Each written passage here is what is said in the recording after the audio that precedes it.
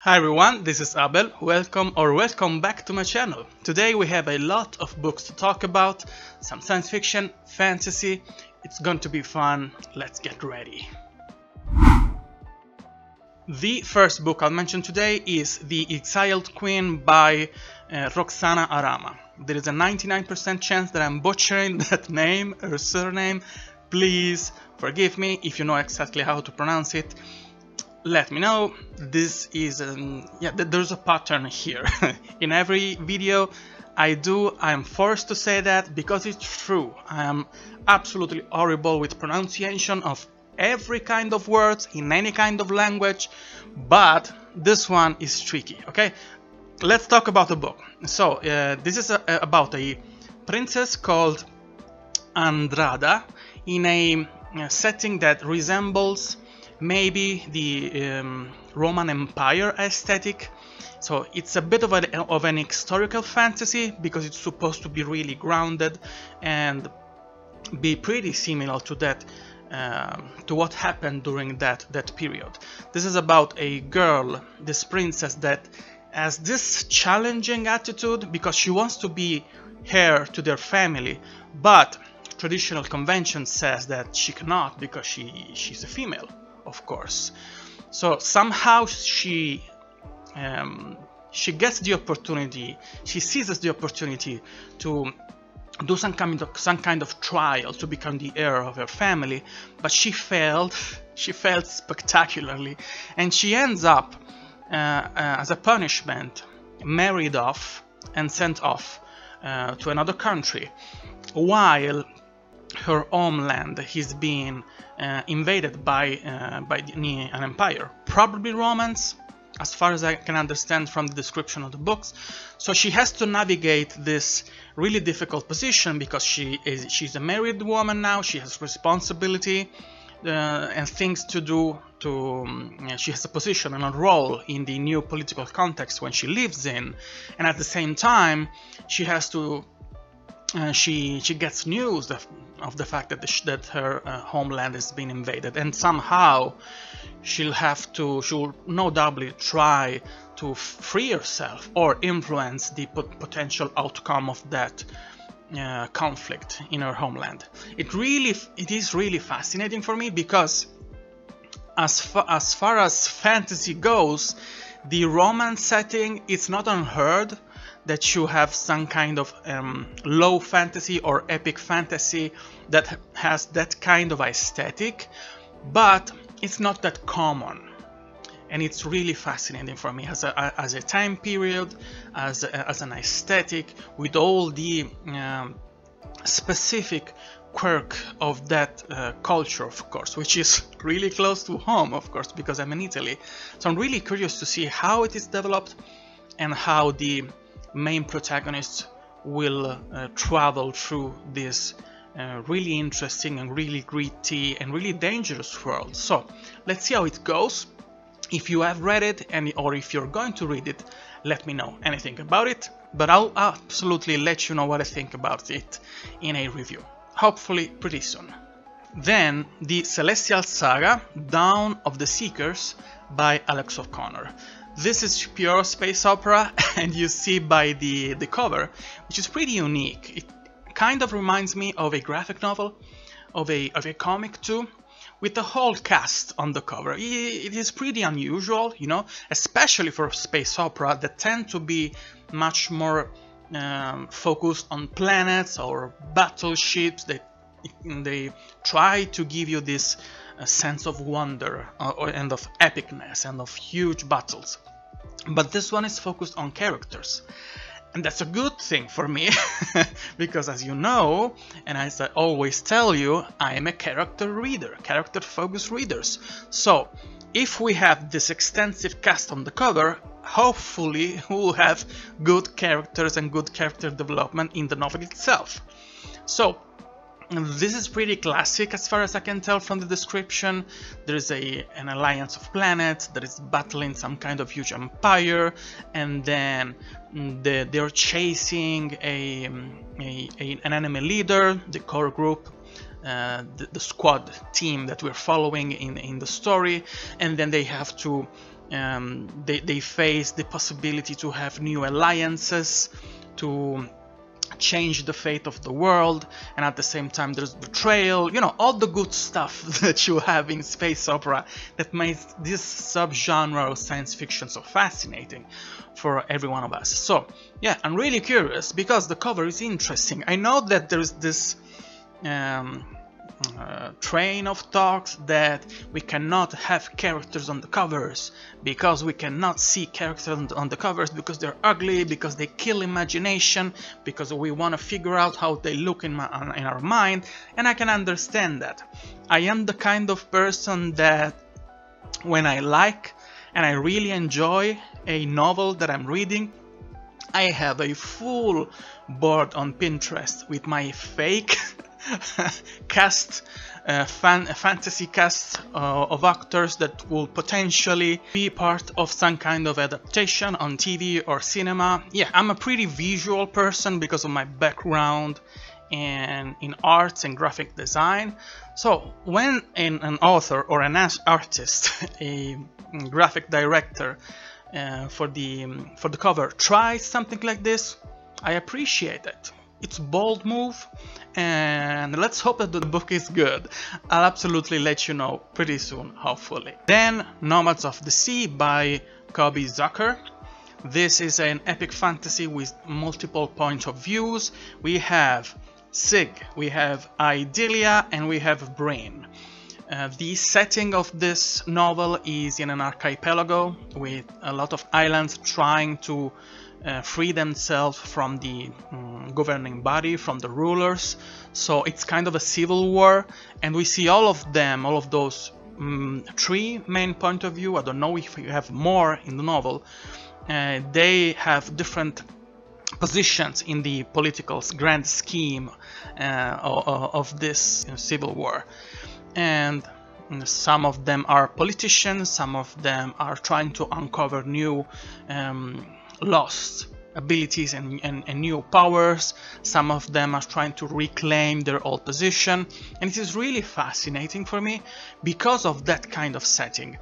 Uh, in some way, it, it reminds me of what we heard, had in Earthsea by Ursula Le Guin. And I'm ashamed to confess, I only read the first book from Earthsea when I was really, really young and I remember very little of it aside the vibes and the atmospheres and a few a few moments in the um, a few points of the plot points of that and I should reread it because I have a beautiful edition with illustrations of all the saga in a, in a huge chunker that it's absolutely amazing to see and to, it's a sight to behold. But I digress. I like the fact that we have this kind of, uh, of an unusual setting and I'm pretty curious to see how it works, how it is developed, and uh, how those characters um, quite literally sail through those difficult uh, land masses. Let's see how it goes. Then we have The Engineer by Darran M. Handshaw. This is a science fantasy, science fiction novel uh, about a man that arrives in a ruined city called Redemption and he's not in a easy position. He is hunted by riders, ignored by his leaders. Uh, there's a deadly mystery uh, beneath the city. Uh, and in the cover we have this pyramid that it absolutely looks like a science fiction, a science fiction setting, but um, it also looks that the novel has this uh, atmosphere of epic fantasy because there are secrets and mysteries to, to uncover um, underneath the pyramid itself. So uh, every time I see a pyramid, my interest is piqued.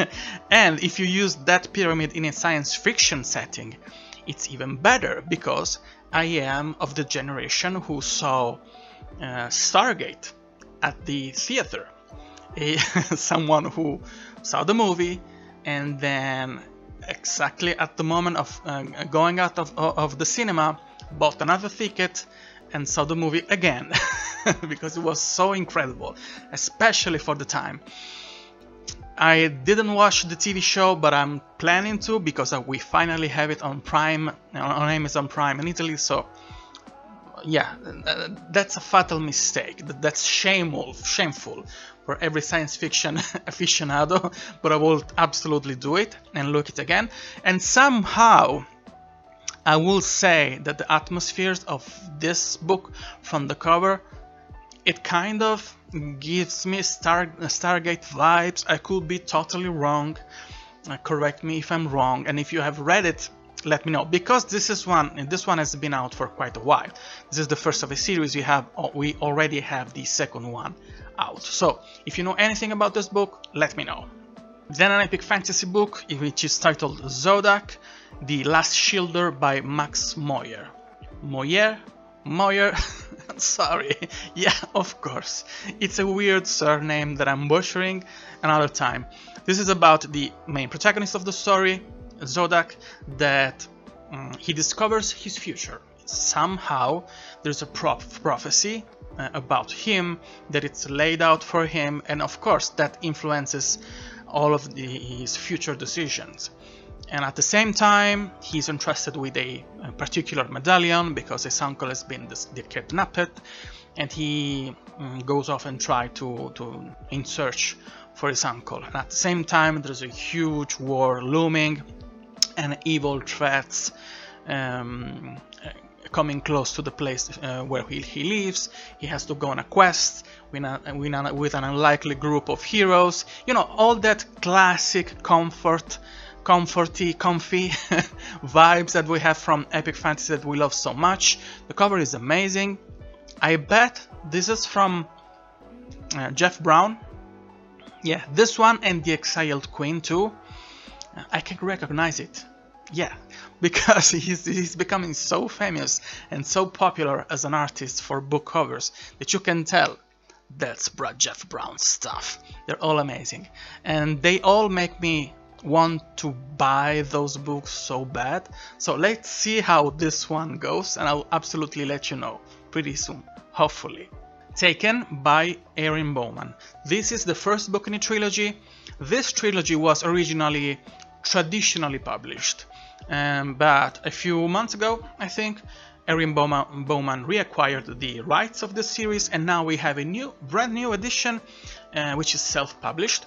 This one is a dystopia and it has all the hallmarks of those that classic period 2012 this um, young adult dystopians that I personally loved so much because the, those are comfort reads for me because we have a lot of cliches, a lot of um, story beats that are so classic and so familiar for me, and I love them.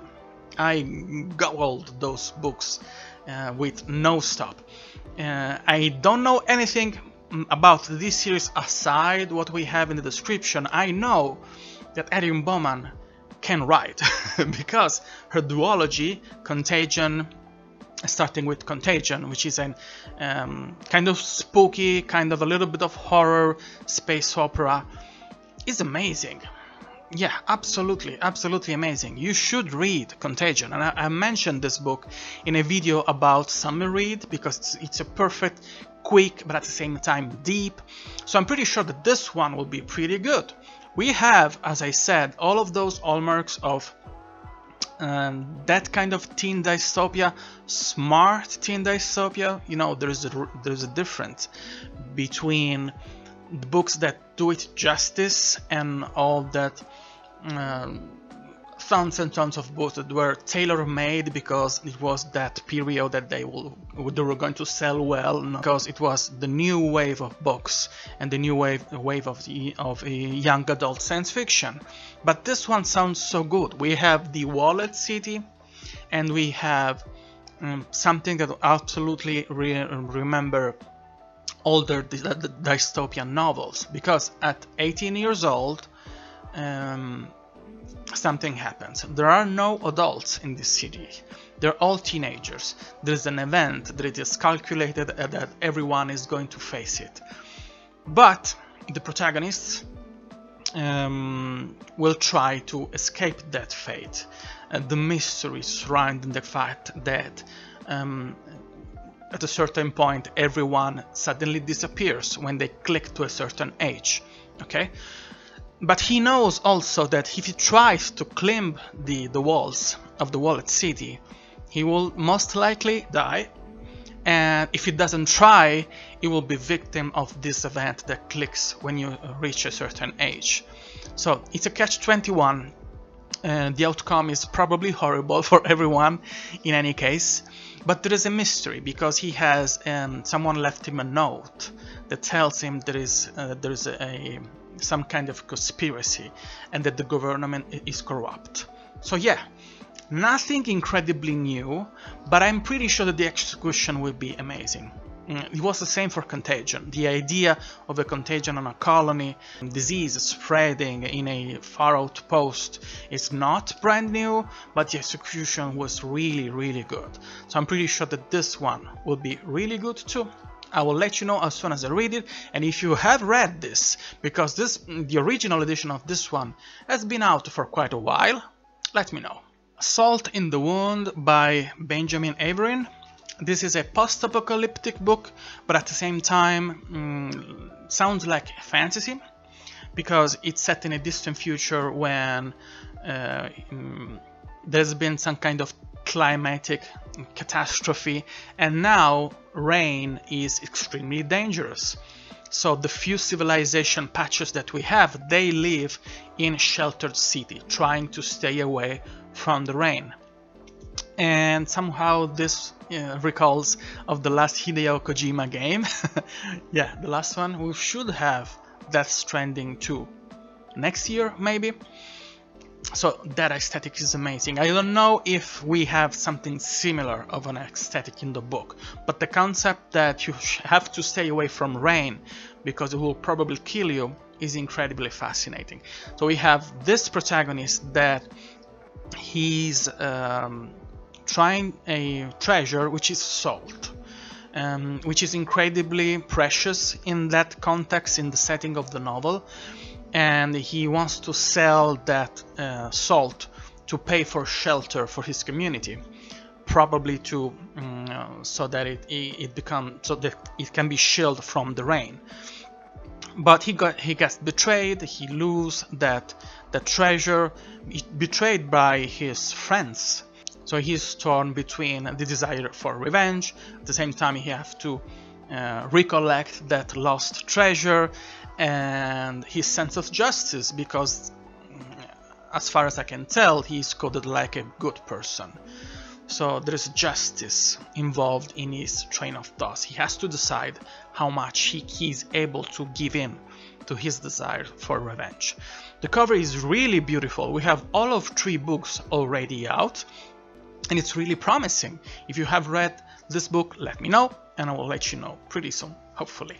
Powerless by Tony Cooper. This is a superhero novel and it has a twist, a different uh, point of view because this is a from the point of view of a former hero, someone who's been out of the game of the game for 20 plus years.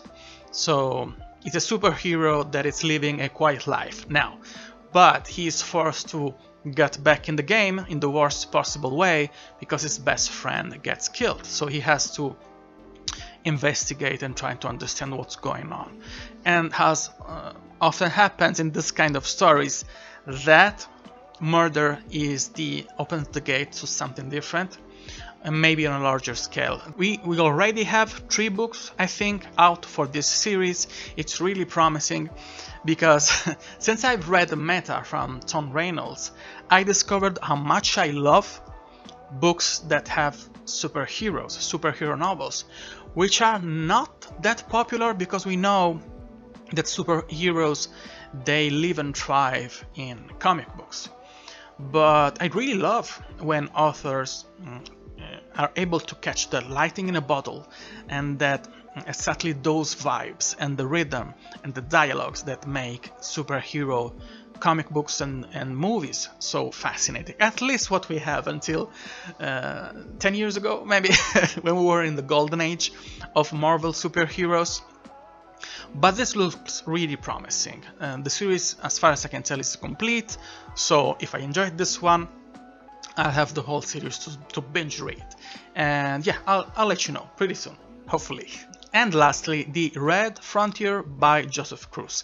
This is a space opera adventure about a um, doctor from the 21st century that uh, awakes in a uh, spaceship that is crash landing of, of, on Mars in the far future. So there is this fish out, out of water dynamic that I absolutely love. When a character is um, pulled away from his um, uh, natural environment and has to struggle to adapt in a new context, in a new setting. And this setting is Mars, which is incredibly fascinating for me. Anything that has to do with Mars is incredibly, incredibly appealing for me. Something happened in that far future, and because mm, we left Earth behind, which is not inhabited anymore. Something happened, some kind of catastrophe. And the future of humanity is on Mars, which is now ruled by some kind of empire. And the fact that this doctor, this mm, this uh, character exists is the source of the conflict because no one is supposed to come from from Earth. And the very same ship that he that he traveled on and the, the same ship that that crash landed on Mars is um, very much desired because there is some kind of lost technology on that ship. So he is the uh, he is the worst place at the worst moment in, at the center of this kind of conflict so this is really fascinating for me. The cover is absolutely amazing. Yeah, incredible, incredible. It piqued my interest just to, just looking at the cover, and we have um, also a bunch of uh, uh, short stories surrounding this first main installment in the series. So yeah, I'm really, really excited about this, and I'll absolutely let you know pretty soon. A couple of reading updates. The last couple of weeks have been slow for me reading wise. I took the last week of August and the first days of September as kind of a vacation, not really vacation, but I relaxed a little bit reading wise. And also I'm reading chunky books, really long books, especially the first one, so it will take me a while to finish them. But I'm enjoying them immensely. I'm reading The Curse of the Mistwraith, the first book in the Worlds of Light and Shadows by Janny Wurts. And as I told you, I'm loving it. if you follow me on Instagram or on X, I've gushed about this book so many times. I think I am around the first 50% mark. And it's been a challenging read because of the language, but not in, not in a bad way, in a really satisfying way. And the vocabulary is, is really rich and the uh, really rich, and the writing style is really elegant. And I would say that um, somehow this book um, it doesn't have a bad reputation, but many many persons, many people, many readers, they say this is incredibly difficult. I wouldn't say that. It is absolutely above many others language wise it's more complex. But give it 200 mm, 200 pages and you will absolutely feel at home. Yeah i i really think that many people have a really really small vocabulary. And this will be really useful for them to to enrich that vocabulary. I love the character de character development. This is really there's a huge cast and in a few moments especially before to reach this uh, the 50% uh, uh, mark there's a section of the book when we have a lot of characters acting acting all together and a few of the things they do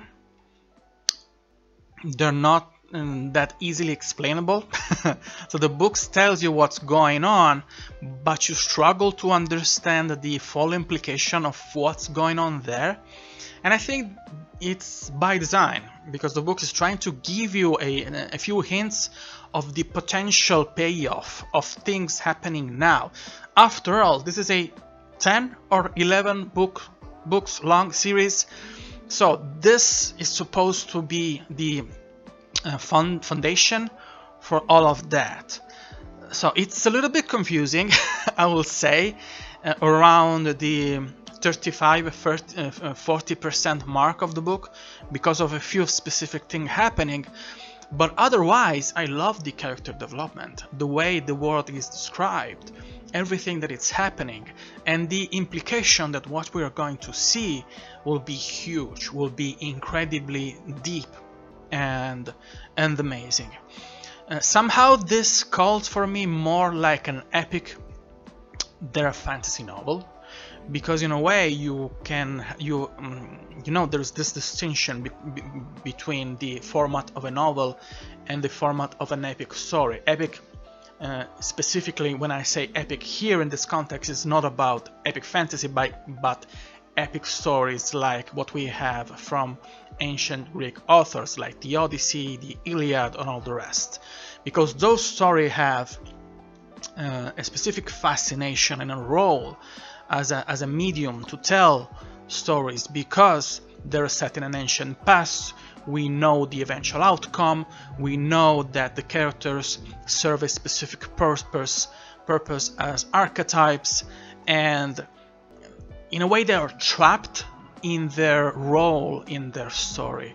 So the fact that, they, that we commonly know, because of common knowledge, what, what they do and when they will end up, differentiate the structure of the story from the usual novel that we know that it is conversely very much steeped in following the decision of those characters and we hope that they will be able to reshape uh, their future because of those decisions so the appeal of those stories is in the character agency this one the curse of the mistwraith is right in the middle because um, there is a lot of foreshadowing and we know that the characters are forced to do things. I don't want to spoil the story, but the, those two brothers, the one we are following in this novel, yeah, they can make decision and they can very much influence the outcome, but inside a specific frame, and you have to read the story to understand it. So it is really fascinating for me because of the way this story is trying to in a way it's in a dialogue it's, it's in a perpetual dialogue between the classic format of novels and an epic fantasy novel and the way epic ancient epics work and it's done really elegantly. so, as I told you, I'm just at the 50% mark. I'll let you know more as soon as I finish to read it. I'll probably give you more reading updates uh, in future videos. Then I'm reading Shards of Earth by Adrian Tchaikovsky. And I'm really happy about it because uh, I already told you I loved Children of Time uh, which is uh, probably his most famous series, which has won a bunch of awards. And I liked the idea and the concept and the execution, and I liked the uh, difference between the point of view, the alien, let's say, point of view, and the human point of view. But that novel, I haven't read the, the, the last one, uh, the third in the trilogy, um, and I didn't like the second. but the first one, that for me can work very well uh, as a standalone too, had a problem, which is the lack of interesting characters on the human side. Because the aliens were absolutely amazing, because it was that perfect match between uh, characterization and using an original concept in a spectacular way. So every time we had the alien point of view, I was flabbergasted, dumbstruck. I was absolutely in love with everything that happened, which was complex and difficult to understand, but at the same time incredibly satisfying. So from that moment off on, I was wary of touching on others' books from Adrian Tchaikovsky because I need interesting interesting characters, human beings and interesting aliens. And I'm happy to say that this novel it is everything I wanted because we have a bunch of incredibly interesting and fascinating characters that are really relatable, really funny and really dramatic too. There's this perfect blend between complex backstories and a really engaging plotline the actual actual plot line in the timeline of the story. So this is a, about a, um, a, specifically two point of views. Uh, one is called Idris and one is called uh, Solace that have really dramatic past and a mm, really interesting inter interpretation of what humanity could become, uh, changing and evolving in the future. And it is also really fast paced and really funny. So this is incredible. This is what I was searching for in a new space opera and what I was not hoping to find from in a book from Adrian Tchaikovsky. Yeah, I'm just uh, about the 20-25% in, but this is really promising and I can't wait to read more and give you a review. Absolutely. And the last reading update is about Centauri's Shadow by Ross Garner. Um, I'm incredibly late. I was supposed to read this arc months ago, but life came in the way and I'm finally reading it right now. I'm sorry, Mr. Ross Garner. I'm doing my best. I'll do I'll do better in the future. Okay, I'll try to be faster when I when I have to read arcs, e arcs. But this took me by surprise in the best way possible because of the his structure, which is something that we don't see anymore so frequently in space opera and fantasy.